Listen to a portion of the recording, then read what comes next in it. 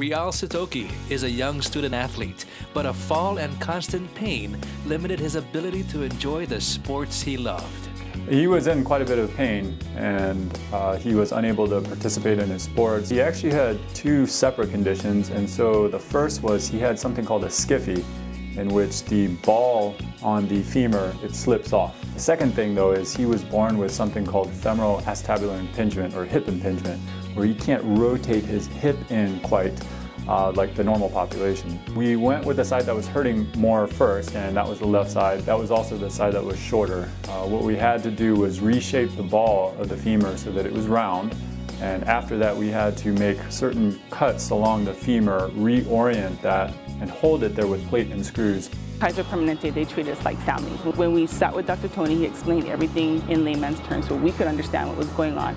They took us through everything step by step. We had questions, they had answers for us. After the surgery, he was able to run, uh, participate in sports, including football, now wrestling, and I think he's done really well. Having been through these two, I feel I feel pretty good. You know, it's it's giving me a lot more. It's like a strength booster because before I didn't have the hardware, I could barely run, I could barely lift. I can still run now, and I think overall it was pretty great. Hey, give me my original lifestyle back, back and better.